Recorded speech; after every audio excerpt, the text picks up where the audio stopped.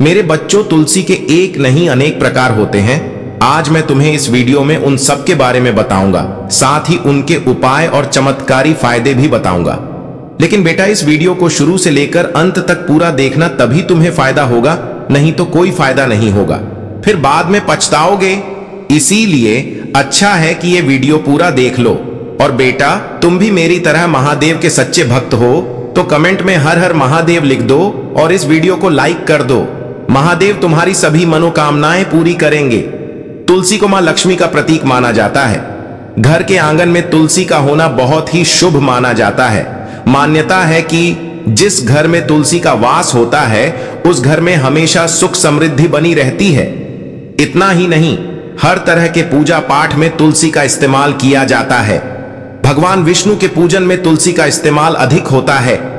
आमतौर पर घर में रामा और श्यामा तुलसी अधिक मिलती है, लेकिन क्या आप जानते हैं तुलसी के कई प्रकार होते हैं?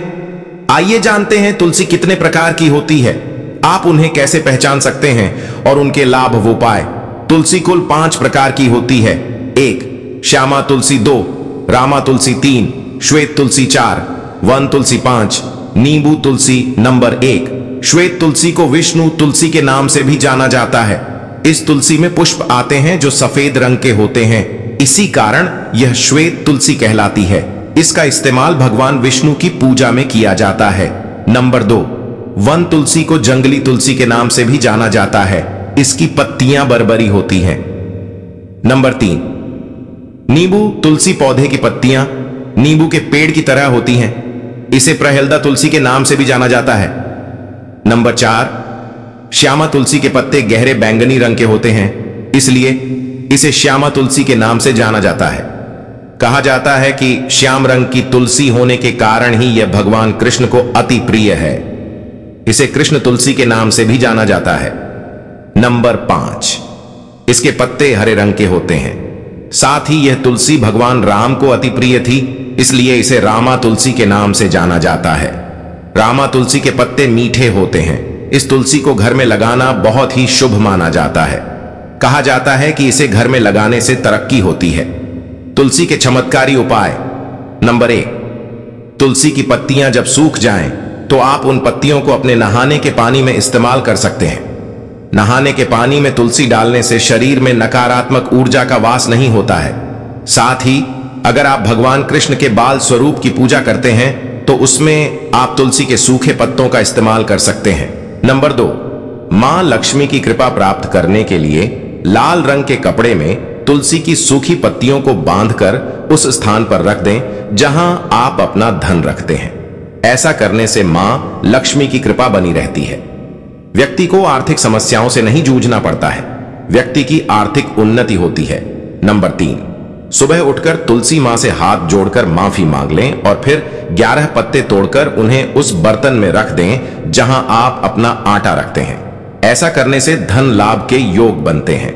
नंबर चार, नौकरी और कारोबार में तरक्की के लिए गुरुवार के दिन तुलसी के पत्तों को पीले कपड़े में बांधकर ऑफ़िस या दुकान में रख दें। ऐसे करने से कारोबार में बढ़ोतरी होगी और नौकरी में प्रमोशन के योग बनेंगे।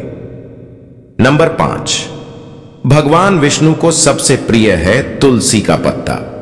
भगवान को जब भोग लगाते हैं या उन्हें जल अर्पित करते हैं तो उसमें तुलसी का एक पत्ता रखना ज़रूरी होता है। नंबर छ तुलसी का पत्ता खाते रहने से किसी भी प्रकार का रोग और शोक नहीं होता। प्रतिदिन चार पत्तियाँ। तुलसी की सुबह खाली पेट ग्रहण करने से मधुमेह रक्त विकार, वात, पित्त, कैंसर आदि दोष दूर होने लगते हैं। नंबर सात। तांबे के लोटे में एक तुलसी का पत्ता डालकर ही रखना चाहिए। तांबा और तुलसी दोनों ही पानी को शुद्ध करने की क्षमता रखते हैं।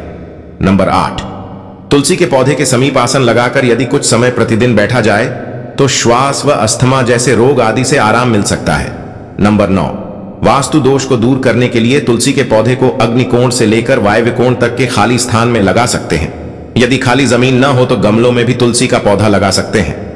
नंबर दस।